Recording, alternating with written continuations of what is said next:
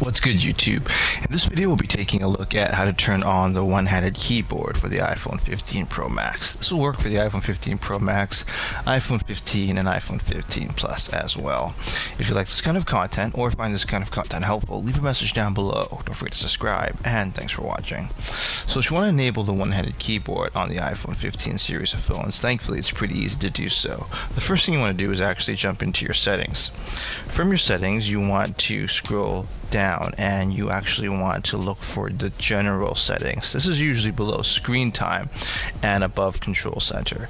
After you hit the general settings, you want to scroll down and you want to look for keyboard. This is usually below date and time and above fonts here. So you want to hit keyboard and then from there the one-handed keyboard is usually the third option there.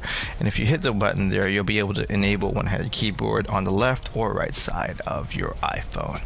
So there you have it everyone. Just a quick tip on how to enable the one-handed keyboard for the iPhone 15 series of phones.